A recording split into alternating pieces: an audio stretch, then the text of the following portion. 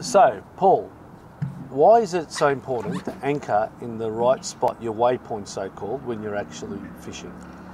That's a good question. So, if you are not on exactly the right spot, you could literally be fishing in weed as opposed to a sandhole. You'll only catch King George whiting in the sandhole. You might be marking some reef, and you might have tide reef here, tide pushing this way, creates an upwelling. The fish are going to sit here and feed on that tide. So you want to be able to anchor so your baits or lures are going to hit that zone. Yeah. And I reckon, I don't want to be rude, but I reckon about 70% of people have no idea how to anchor a boat properly. They do not let enough anchor rope out.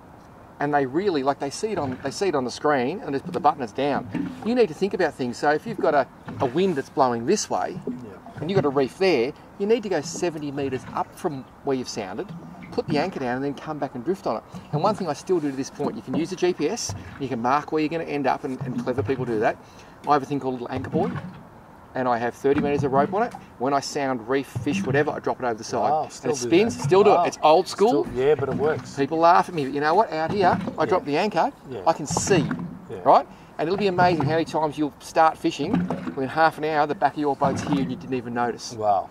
You just move around on anchor, Yeah. and I'll be casting lines back in that direction. Guess what? Those two rods are catching fish. These four are doing nothing. Yeah, and if you didn't know that point was right. there, so anchoring that that five minutes at the start of the day Yeah. can determine your entire day. Yeah. And so many times, you got to anchor twice. So the first time you get out, you don't know the conditions. You don't know if the tide's pushing this way That's or right. you might, but the wind. So you find your spot, you anchor. When you do it, then you see what the conditions have done to your boat. Then you go, now I know I'm going to sit like that. I'm going to anchor 20 metres that, That- way, that way. to be right That's in the right. spot. But a lot of Yeah. people get out and they go, oh, I just want to get my lines in. That's and then right. they sit there for an hour doing this. Yeah. Always. Yeah. Anchor the first time. If you don't get it right, take the time to anchor again, and then you'll definitely catch more fish. That's that's awesome. I'll, I'll, you know what? I've also got um, a system that works for anchor winching. Uh, I'll, be- I'll be specific on anchor winching. Is that I fish a lot as well. I chase the whiting a lot, and um, I'm a numbers man. All right, and I used to when I used to fish for whiting, and I still before and I used to I didn't like my spot. Pick it up, drop it again. Pick it up, drop it again. Statistically, I've, I've worked as a numbers game is where I drop and lift my anchor as many times as I need to to get on the fish. Like you said, you know, instead of me looking at GPSs and markings and, and weed bait, I'm not saying your system is more specific. I'll just keep moving and moving. I might move 10 meters. Yep. And drop again. Move another five, you know, another 20 meters, drop again until I've hit that sweet spot.